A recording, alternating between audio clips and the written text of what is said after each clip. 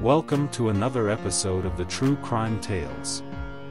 Before we dive into today's show, please smash the subscribe button so you can get notified instantly when our show comes out. Thank you, for you will not want to miss an episode of our true crime stories from around the world that will grab your interest from start to finish. Sit back, relax as Ava will bring you today's episode. Thank you, Eric. Today's episode of the True Crime Tales is The Case of the Frog Boys of South Korea.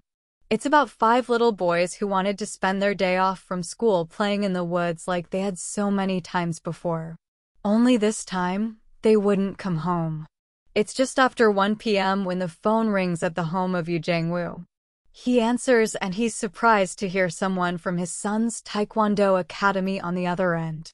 This person tells him that 14-year-old Chuan didn't show up to his lesson today, which might have been more surprising on any other day. But today, March 26, 1991, isn't any other day. You see, for the first time in 30 years, South Korea is holding local democratic elections.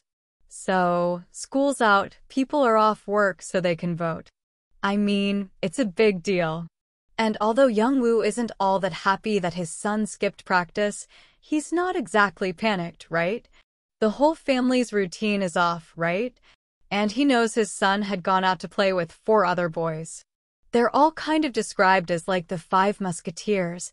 Their houses form this circle there in the village, and they're all super close. Our whole team tries hard to make it the best it can be.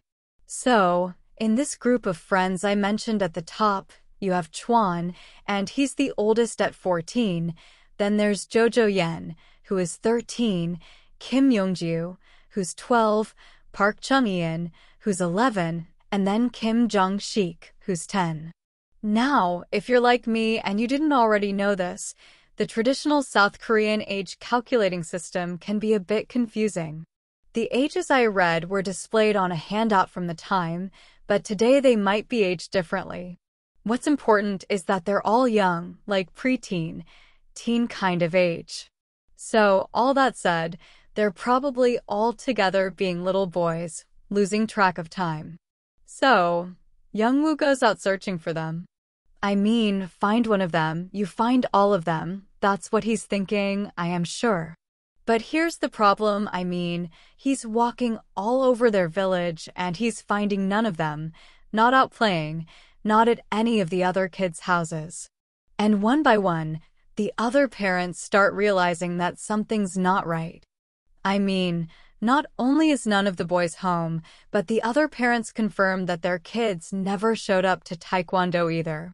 So, on the same mission now to locate their sons, these parents start asking around, and before long, they find someone who says that he had seen all the five boys earlier that day.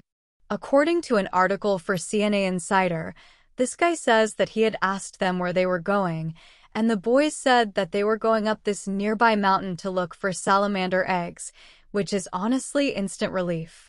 Like, oh, that's where they are, makes sense, right? They aren't in the neighborhood because they're up on this mountain, yeah? And like, shame on them for skipping class, but they're probably all still up there. They're going to come home eventually. But as the afternoon turns to evening and it begins to get darker and darker, worry begins to creep back in. I mean, they're not worried that they might have gotten lost, but that they might have gotten hurt either coming or going from the mountain, because they know that there's a farm at the base of the mountain with some pretty aggressive dogs on the property. So, I think where their mind is going is like maybe one of those dogs got out, they hurt the boys. So, as the sun dips below the horizon, the group of parents heads up the mountain to look for their kids. But there is no sign of them anywhere, and this is when they really start getting panicked. The parents file missing persons reports with the local police, but the police aren't nearly as worried as they are. According to the article, In Search of the Frog Boys, which is the main source material for this episode, the police basically say they're probably just late getting home. They stayed out too late playing. It's not that big of a deal. But these parents' spidey senses are tingling. They know their kids wouldn't have just stayed out too late, and even if they did, they would have made their way home by now, so something must have happened. By the next day, the boys still weren't back, and this finally seems to make the police take things a little more seriously. They begin a search of the mountainous terrain with groups of officers, residents, even helicopters. They also conduct a search of the village itself, focusing on empty houses, arcades, you know, spots where kids could get snacks or places like that. But there's no sign of them anywhere. By the third day, the parents are beside themselves with worry, knowing that something must have happened to them. And just when they feel completely lost, the parents of Jiang Shik, the 10-year-old, get a call from someone who says, quote, I have the children. They are all suffering. Two are very ill now. The call isn't long. They're just instructed to get a lot of money and meet this mysterious caller on a specific street in the village. And even though I'm sure this sends fear coursing through them, it also gives them an answer to where their boys are and a bit of hope that maybe their kids are going to be returned to them. So, when the time comes, they head to this meeting spot, money in hand. So, did they tell the police about this, or are they just going rogue? Yes, the police are there too, like ready and waiting to confront whoever the caller is. But all of them, parents, police, everyone, just kept waiting and waiting. It's 20 minutes, 40 minutes, eventually a whole hour passes, and there's just nothing, no sign of a mystery man and no sign of their kids. So, was it a hoax, or did the cops being there have scared them? Well, in the end, they think that it was most likely just a hoax. So, over the next few days, media outlets outside of the village get word about what's happening, and now that the election news has kind of died down, the public focus really turns to these missing boys, and their story finally becomes national news. They're dubbed the Frog Boys for I think just a flashy headline because the news outlets reported early on that they had gone out to catch frogs, not like looking for salamander eggs like we heard early on, so somehow this nickname just stuck. But regardless of what they're called, the national attention is great. I mean, the parents even get to go on this live TV program called The Square of Public Opinions, where they talk about their kids and their frustrations with the police response, which, by the way, at this point, they were still frustrated with because despite outwardly seeming like police were finally taking the disappearances seriously, the parents actually explained on the program that it just doesn't seem like they actually care. I mean, for instance, they show a missing poster that the police have created, pointing out that the poster says runaway, not missing, which has a different connotation, exactly. These parents are more than frustrated, they're rightfully angry, and they know in their guts that their kids didn't just run away, so the assertion that they did just creates a further rift between the parents and the police. So much so that on this TV appearance, they're like, you know what? just contact us with your leads. There is even a phone line set up, and calls start coming in, one after another, like while they're doing this program. And then something wild happens. So again, literally while they're still on the air, the phone rings, and the person on the other end says that they are 10-year-old Jiang Shik. The voice on the other end sounds like a little boy, and he's crying for his mom. And Jiang Shiki's mother says it sounds like her son, but then the call gets cut off. The group managing the phones tries to call the number back, but they can't get him back on the line or whatever, and then they try and track where this call came from. Eventually, they do, but unfortunately, they find out that it was just another hoax. But despite that prank, the TV show keeps the missing boys in the national news, and there's a national effort to find the kids. Even the president of South Korea at the time even makes a statement and directs 300,000 police officers to search for the boys, not even just in their village. Hwang Sung-yoon reports for Korea Young Daily that as time goes on, searches also extend to reservoirs, bus stations, and terminals across the country. But even with all this effort, Weeks pass with no sign of the boys, and it makes the parents question if the search teams are even really searching. They get the feeling that the police are just out there because they must be, not because they care about finding the boys. And really, without any physical leads, rumors begin spreading about what could have happened to them. The biggest of which is that their disappearance has something to do with a nearby military base and a shooting range up the mountain. I think the rumor is that maybe somehow these kids had wandered to like the wrong place, gotten shot, and then it was all covered up by the military or someone within the military. And at first, when this rumor starts, like the parents are skeptical because the shooting range is well marked. Everyone knows about it, so it's unlikely that their kids would have just wandered and accidentally and gotten in the line of fire. It seems like something that wasn't a secret or anything. Exactly. The kids knew about it, but this rumor seems to hold water when they learn that someone had heard a gunshot on the day that the boys went missing. Apparently, according to the doc, one of 14-year-old Chuan's friends heard a shot, what sounded like a scream, and then just nothing. And this happened near the base, I assume. Well, that's the impression I get, or at least somewhere near the mountain but nothing in the source material explicitly states that. But with all these rumors flying around about the military potentially being involved, you'd think that the police would investigate this idea. Especially with Chuan's friend's story about hearing the gunshot and the scream. But the police don't, and from the way it's presented in the documentary, I don't know if they even necessarily have authority to, though. Like, Maybe only the military can investigate the military? Yeah, that's how it seems. Either that, or they don't think that there's enough stock in the military rumor to warrant an investigation. I can't totally tell. And just for some context, South Korea had been fluctuating between democracy and a dictatorship for decades before this, with the military having a lot of control and power. I'm not going to get into all the details here because we'd be here for hours. But even though the current president during all of this in 91 had been elected democratically, the country was still very much settling into the idea of democracy. So, considering the power that the military had in the past and still does, it makes it difficult. I think it would make it difficult for the local police to investigate them. It doesn't make sense to me completely, though. Remember, there's only one shot and one scream. That doesn't take out five boys, five kids, yeah. I think the theory is that maybe there was an accident, and then one of the boys was killed, and then they killed the others. Potentially in another way too, like, A, cover it up or something. Again, it doesn't make total sense, or we don't have all the pieces, but it's just a theory. And then, since no one investigates the military to confirm this or shut it down, this theory just kind of lingers. It's just like out there still, right? So, since the police aren't really, like, getting answers, the parents feel like it's their job to do that.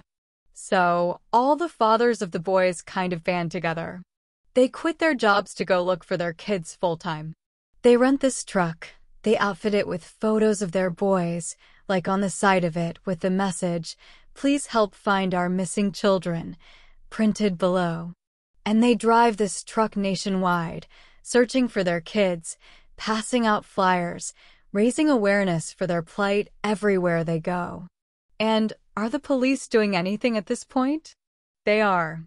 I mean, they're mostly doing searches, and they have cast a very wide net, searching areas, specifically with higher crime rates, fishing boats, even some religious organizations, which I think now might include organizations with religious affiliations like orphanages, even, for instance. It might be a good time to point out that our main source is the documentary. It was originally in Korean but subtitled in English, so it's possible that some of the translations were lost, but the translations could be vague. But anyway, even the sea and several islands outside of mainland Korea are searched.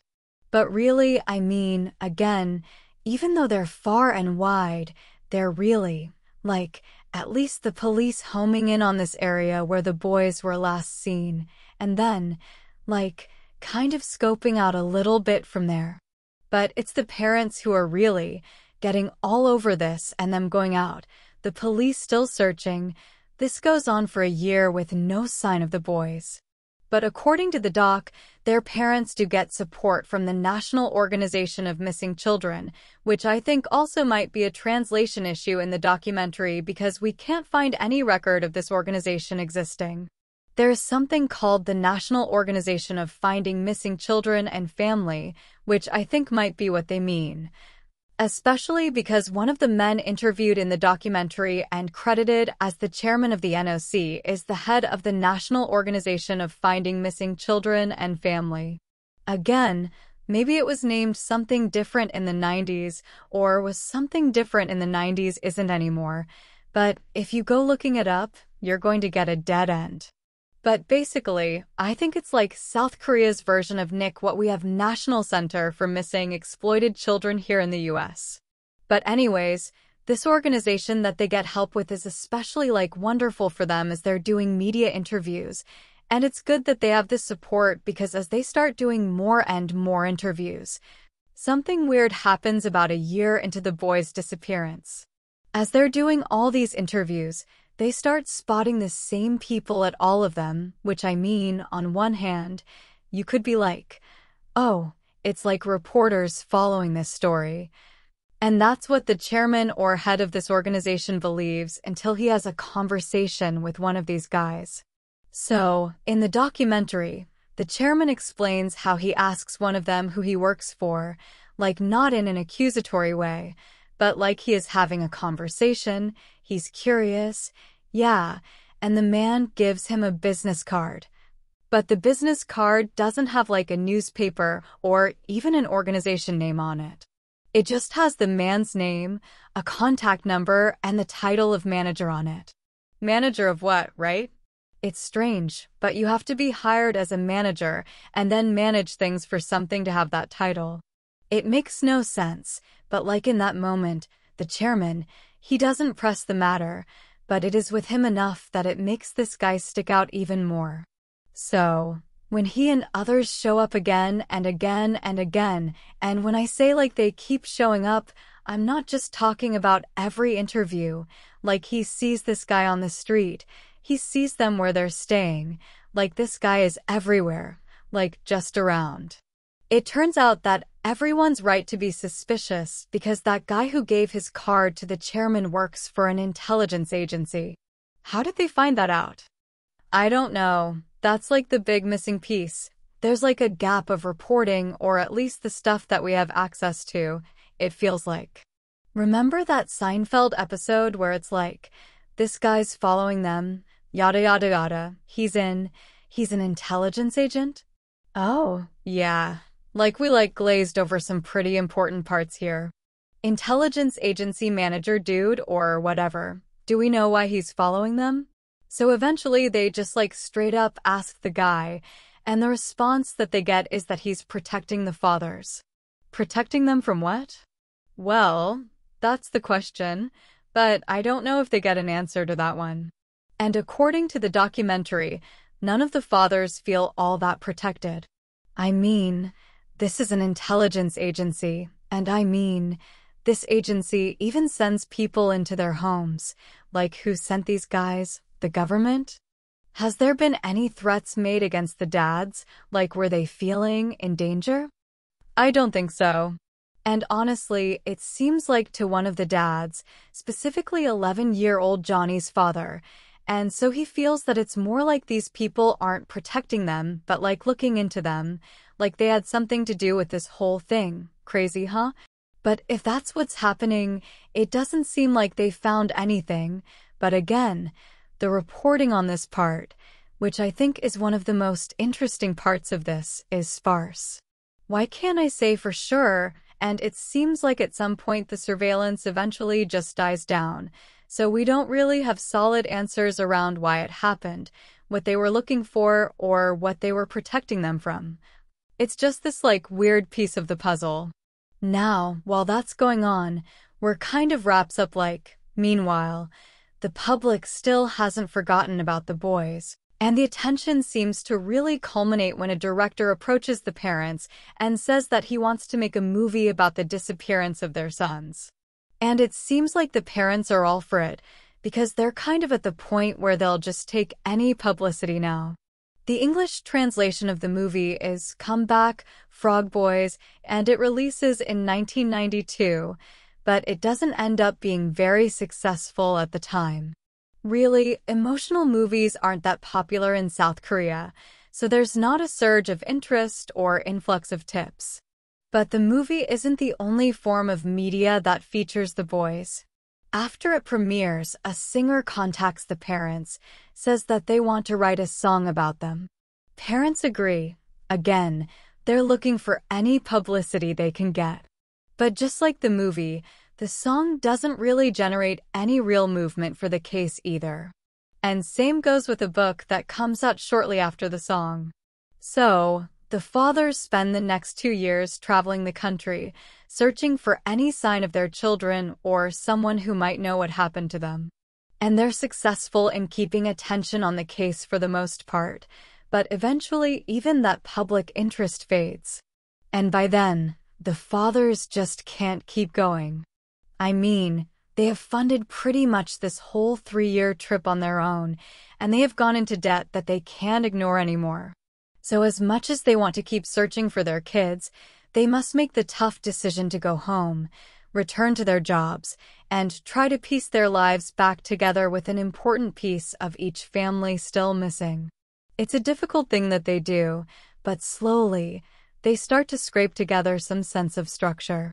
But that structure is shattered when the parents are contacted by none other than members of the military who want to meet them. The military personnel are from the base, they're on the mountain, and they ask to meet in person at night, specifically without letting the local police know. But if this is about the boys, like, I mean they'll go anywhere, they'll do anything, no matter how sketchy. So, they agree, and they head up the mountain into the military base on the night they're told to go. And once they get there, they're led into this large tent where there are some soldiers waiting inside. I'm not sure how many people are there, but the documentary reports that one of them tells the parents that he can help them find their kids with the help of some supernatural powers that he can give them. He says that he can give one of them the power to locate where their kids are. And this is the military, right? Yes, this feels like it's turning into an episode of Supernatural. I was going to say, like, this isn't some religious organization. They're on the military saying we have superpowers that we can dole out. And listen, you know what? Not to turn this into a supernatural episode, but like I think the military, all militaries are working with some scary stuff. All I'm saying is like there's really saying that they have like this thing that they can dole out to civilians just to help them solve this. Yeah, I don't know if this is new because where was this three years ago? But, and why not give it to one of your soldiers to help find something like, does it have to be a family member? What are the rules of these supernatural powers? I have so many questions. Maybe it must be someone connected. All I know is if Josie was missing for three years and someone needed to like lay hands on me so I could find her, I would let them. I get it. It's exactly what happens one by one. This guy literally puts his hands on the sides of their heads, and like I guess giving them the powers. And when this man gets to 12-year-old Young Ho's mom, she starts just speaking uncontrollably. Okay, like she's possessed, I guess. I don't know, whatever is happening. It seems to be what the soldier was looking for though, because he tells the parents to just like let her talk, let her lead the way, follow her wherever she goes. And as she leaves the tent, they all exit the tent. She starts running up the mountain. Everyone's following close behind. But it's difficult to keep up. It's raining, it's muddy. They're trying to make it through the underbrush as safely as possible. But they manage to keep up. And eventually, finally, she stops and she just screams that their boys are here. And I don't know what those parents must have felt in that moment relief, fear, devastation. But whatever they felt must have quickly turned to confusion and then anger because their boys were not there. They're not anywhere nearby either. I mean, they do a search of this area that turns up nothing, not a body, not a scrap of clothing, nothing connected to the boys. So, what the heck was all of this for? I don't know. I haven't really seen an explanation of what happened. All I know is that once they all realize that their kids aren't there, the parents are scared. I mean, understandably fuming. Were the soldiers trying to be helpful? Were they just playing this massive joke on them? Like, I don't think it's a joke because it seems like something happened. I like I can't explain any of it. I don't even know if the parents even like went and reported this to police or if the military personnel face any consequences for doing this or if they were or if they did. It's kind of like the whole intelligence agency thing. It's just this another wrench that is thrown in the mix. But like I'm sure the family's feeling confused and frustrated.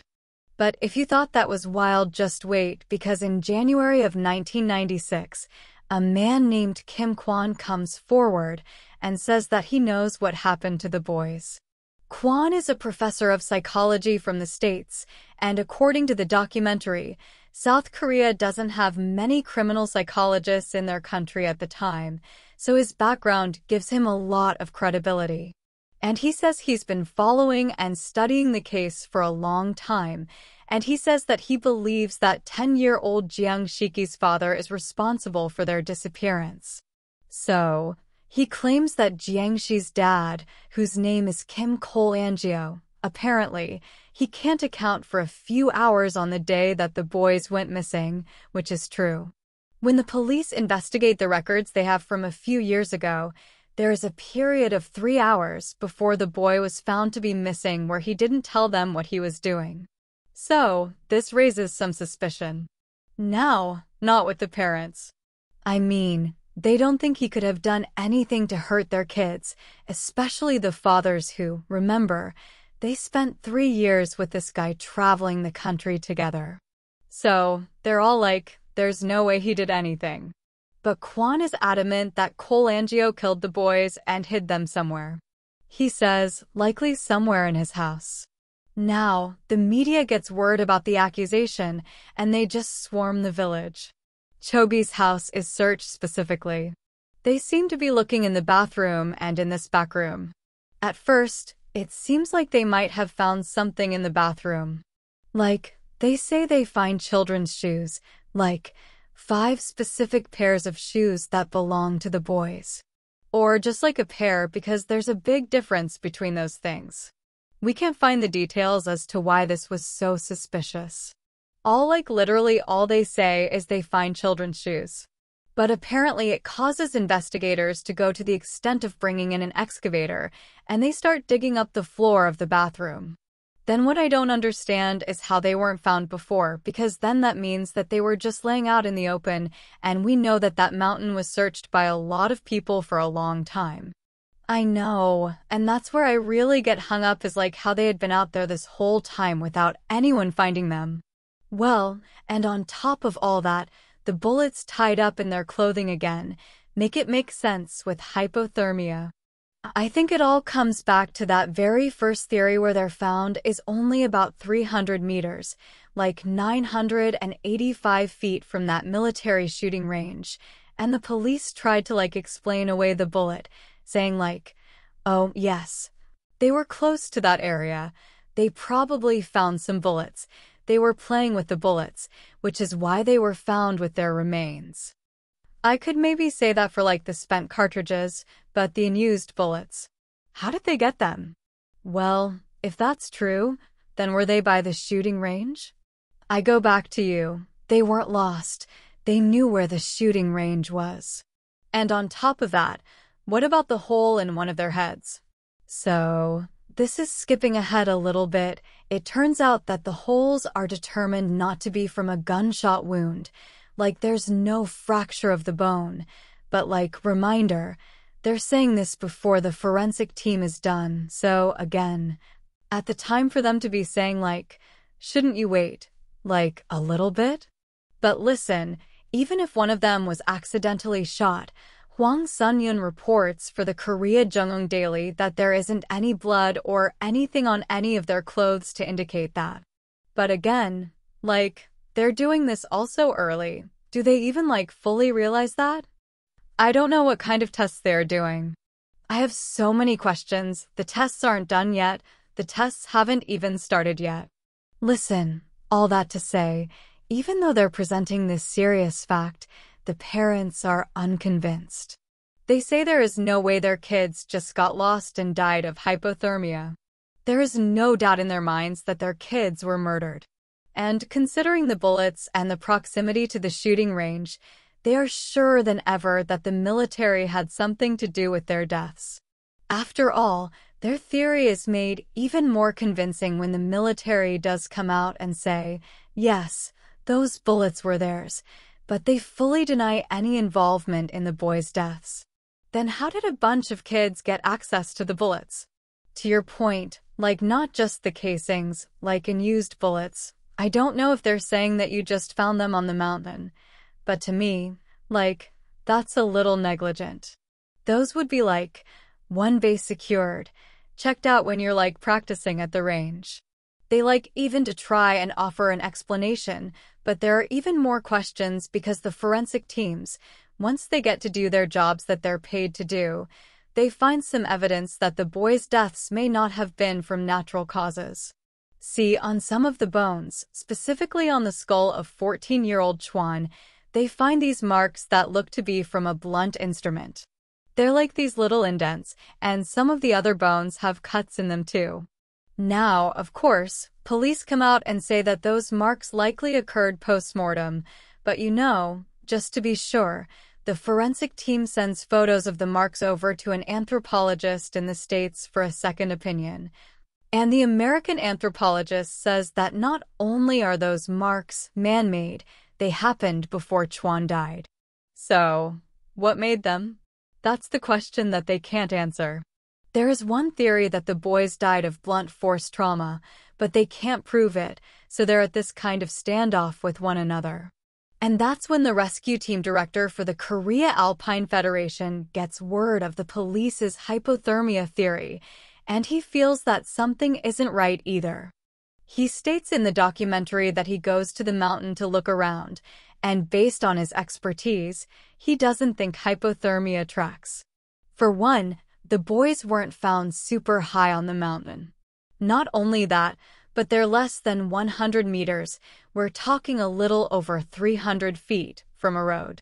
So, they were lost right near a road on a mountain that they're familiar with. If you're cold enough to get hypothermia, they could have easily made it back to civilization. Even if it wasn't their village, they could have found someone to help them. And this Korea Alpine Federation guy also can't help but notice how close the boys are to the shooting range.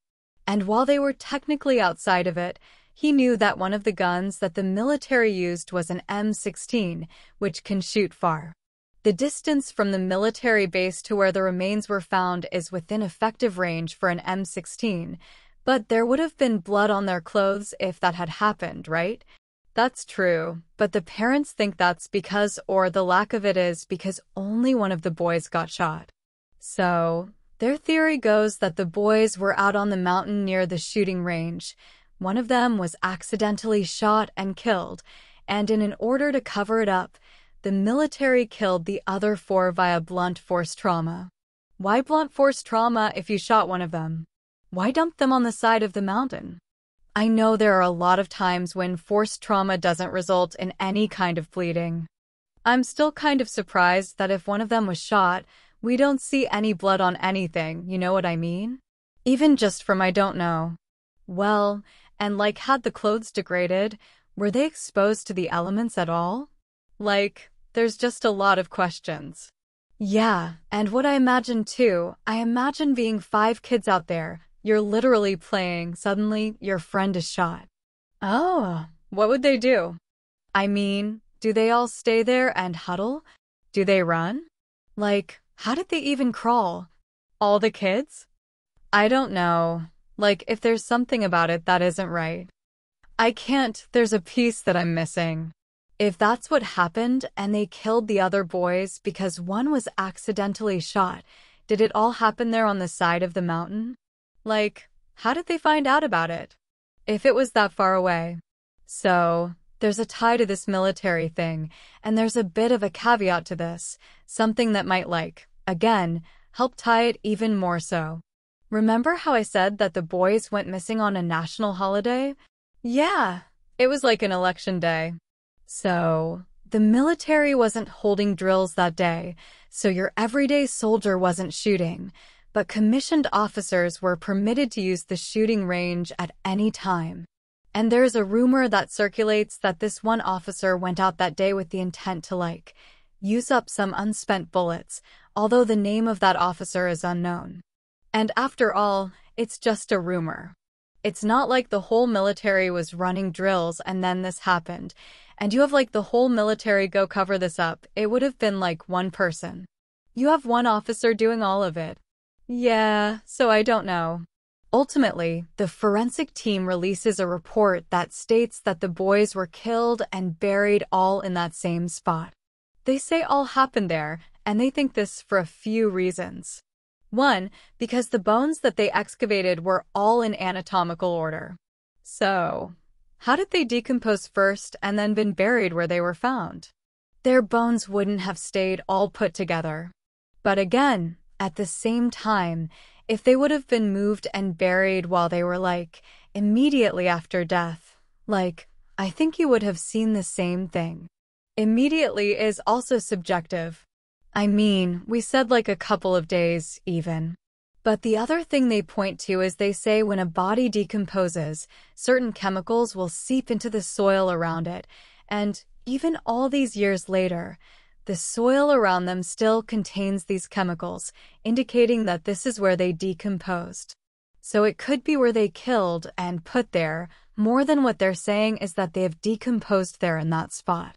So, They've essentially been there the whole time. Yeah, for a significant amount of that time.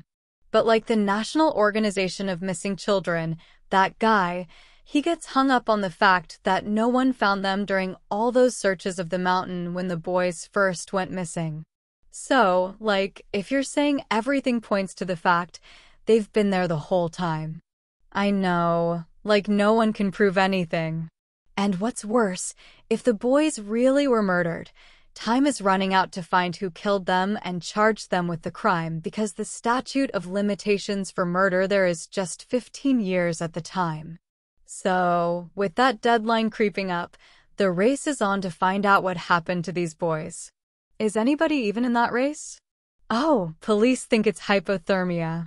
They might have a theory, but they do go back and review all their old records from the time that the boys disappeared, looking for anything that they missed that could point to their killer or killers. But even in doing that, they don't find anything.